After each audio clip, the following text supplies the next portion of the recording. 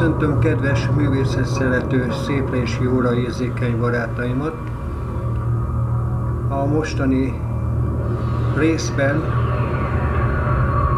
folytatjuk tovább a Budai Nagyantal Gimnázium diákjainak, végzős diákjainak alkotásának bemutatását.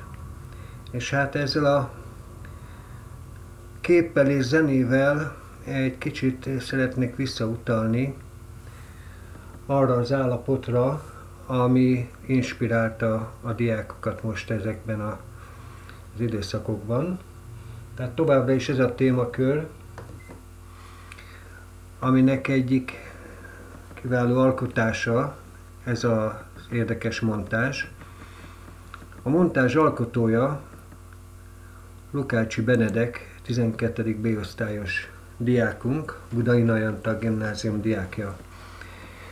És itt ilyen, egy pici kitérőt hadd tegyek, mielőtt belemerülnénk ebbe a képbe azért alaposan. Egy pici kis kitérőt hadd tegyek abba az irányba, amely elgondolkodtatott nem csak a kép kapcsán, hanem már az előző képek kapcsán is, hogy mit köszönhetünk ennek a digitalizált világnak, illetve a, az, az informatikai eszközöknek.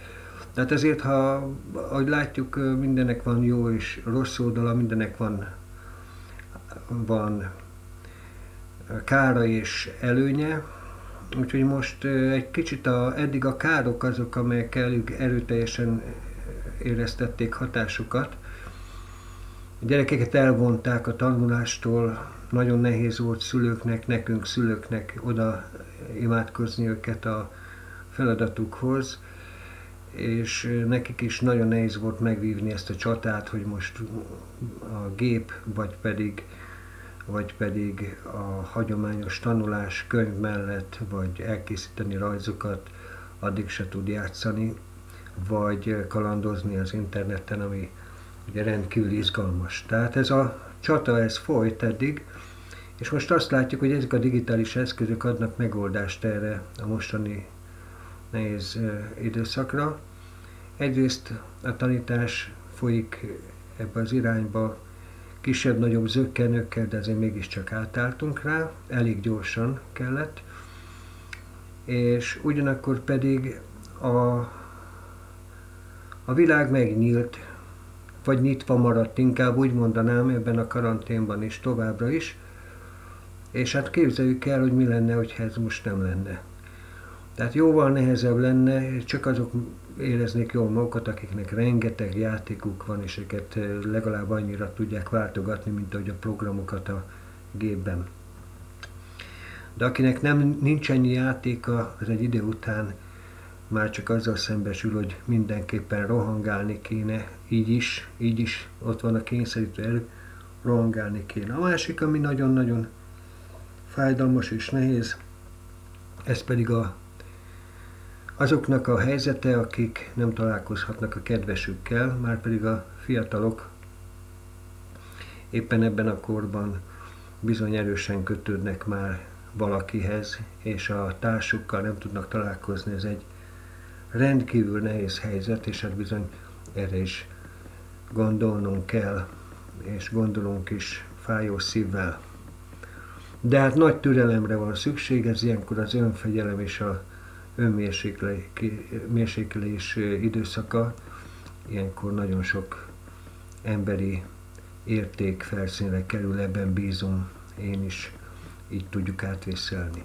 No, tehát nézzük ezt a képet, ami hát bizony nem a legoptimistább. Tehát a, az idő az a, spanyol polgárháború időszaka, de nem csak az. Tehát Benedek egy nagyon érdekes megoldást választott, ami egy speciális, itt megpróbálom ezt megmutatni, egy speciális ö, ö, dolog, az ő esetében sok minden találkozik. Hát kezdjük leghátul. Ugye itt akik elég tájékozottak a művészet történetben, azok nagyon jól felismerik, hogy ez bizony annak a szürrealista Salvador dali a leghíresebb, egyik leghíresebb, ha nem a leghíresebb festménye. Talán az Emlékezet állandósága című képe az a lefolyó óráival legalább ennyire ismert, de ez a képe is, amit a művészettörténet nagyon nagy becsülés számon tart, ez pedig a eredeti nevét illetően a föld, a puha konstrukció földbabbal, ez volt az eredeti címe, hát mindenki csak úgy ismeri, hogy a polgárháború előérzete. Ennek a központi alakjának a, az arca, amely, amely eltorzult arc, és anatómiailag szinte szétszedett egyes helyeken.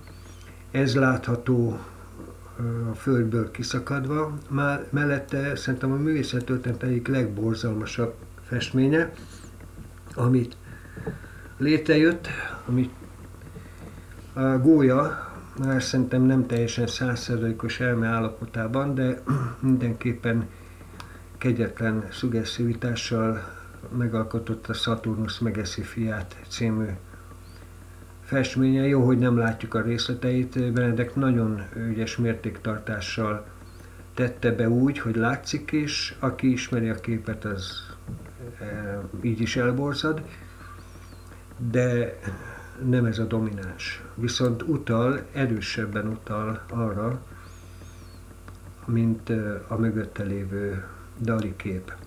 Amit látjuk, a halványítás az csökken ebben a Saturnus képben, és nagyon jól takarja el Picasso Gernikájának részleteiben. Ugye az a kép, amely Picasso-nak az, a, lehet mondani, akkor szintén főművei közé tartozik.